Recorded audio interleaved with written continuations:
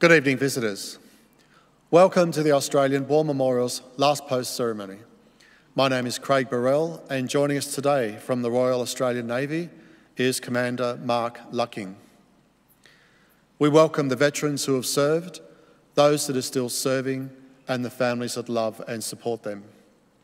We acknowledge the members of RSL and Services Clubs Association, RSL Victoria, and RSL Queensland who are watching the broadcast of this ceremony across Australia.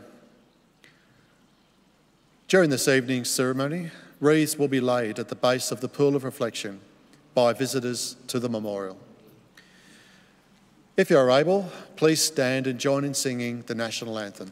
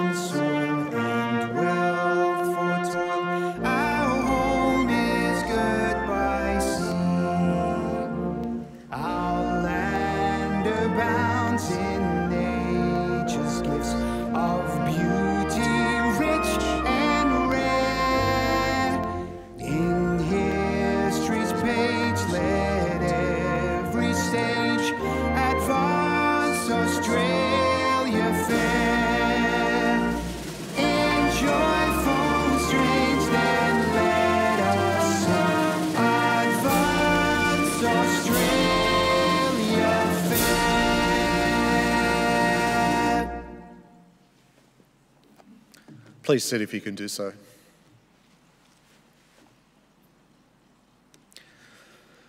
The Australian War Memorial was the vision of Charles Bean, Australia's First World War official historian.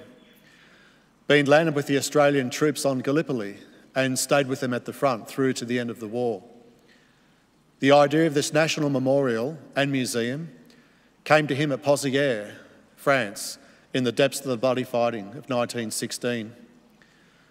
Bean's idea was that this would be a place where families and friends could mourn their loved ones buried in faraway places. It would also be a place that could help all Australians understand what these men and women had endured and what they had done for us.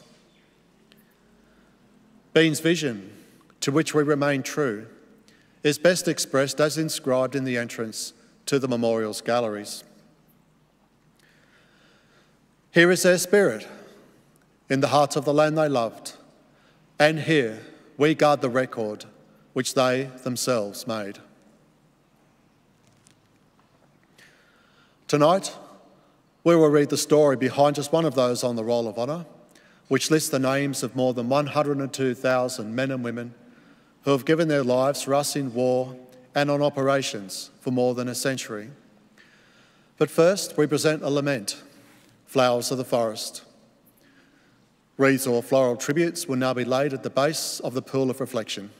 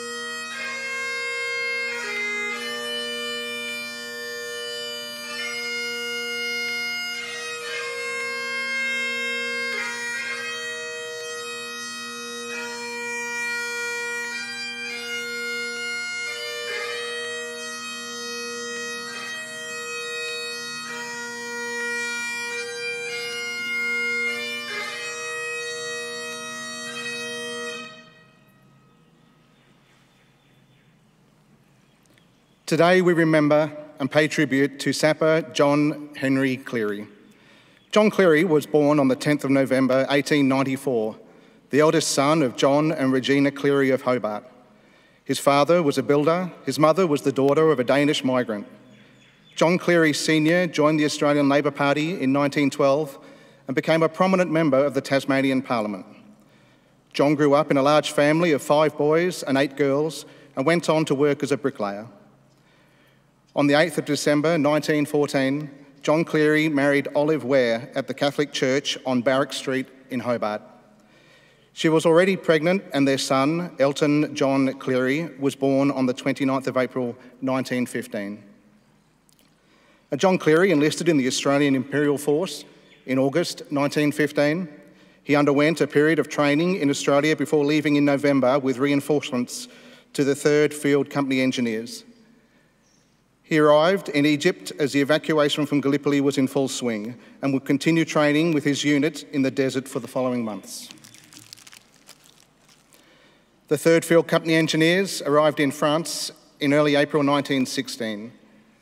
They were transferred to Strzelecq on the Belgian border where they immediately began training in building structures such as pontoon bridges, cookhouse fireplaces, and trenches. During this time, John heard about his father's election to the House of Assembly and wrote to congratulate him. He added that his brother, who was also serving in the engineers, would have to shout him on payday in celebration. In mid July, Cleary's company was sent south to join the Battle of the Somme, the major campaign for the British and Dominion forces on the Western Front. They reached a position near the French town of Albert on the 19th of July and immediately became involved in the plan to capture the German held village of Pozières. Within a day of arriving on the front line, the men of the 3rd Field Company engineers were working to improve the firing line and attach communication trenches. Many of the established trenches had been filled by shell fire, which ranged around them as they worked. On the night of the 21st of July, a party of sappers took part in a raid to establish an advanced battalion headquarters for the 9th Battalion. Another party was forward building cover at the entrance to the 3rd Brigade headquarters dugout. Later on the night of the 22nd of July, more engineers accompanied the infantry as they entered the front line to start the operation that would result in the successful capture of Pozières. At some point during all of this activity, Sapper John Cleary was killed in action, the manner of his death went unrecorded, and his body was lost in the shell fire of Pozières. Today, he is commemorated on the Australian War Memorial at Villers-Bretonneux, one among more than 10,000 names. His wife remarried before the end of the war, but his son, named for John Cleary, lived until he was nearly 80. The name of John Cleary is listed on the Roll of Honour on my right amongst almost 62,000 Australians who died while serving in the First World War. His photograph is displayed today beside the pool of reflection. This is but one of many stories of service and sacrifice told here at the Australian War Memorial. We now remember Sapper John Henry Cleary, who gave his life for us, for our freedoms, and in the hope of a better world.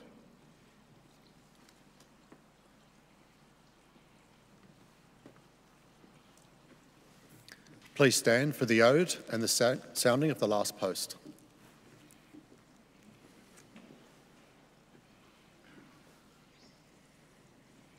They shall not grow old as we that are left grow old. Age shall not weary them, or the years condemn. At the going down of the sun and in the morning, we will remember them. We'll remember.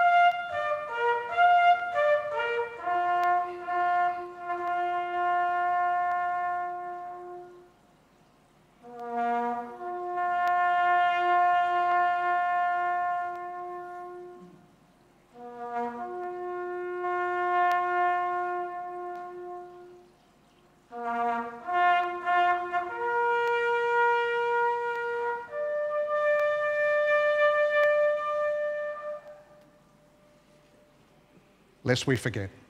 Lest we forget.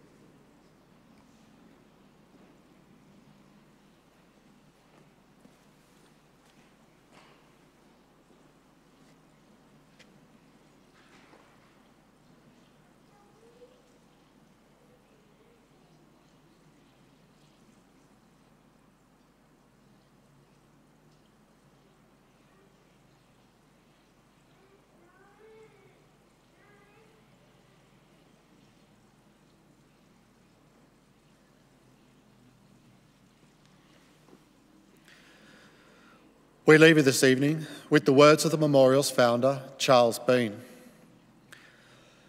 Many a man lying out there at Pozières or in the low scrub at Gallipoli, with his poor, tired senses barely working through the fever of his brain, has thought in his last moments, well, well, it's over. But in Australia, they will be proud of this. Ladies and gentlemen, girls and boys, that concludes the last post ceremony. On behalf of the Director and staff, thank you for visiting the Australian War Memorial today and for your continued support of the Memorial's development project.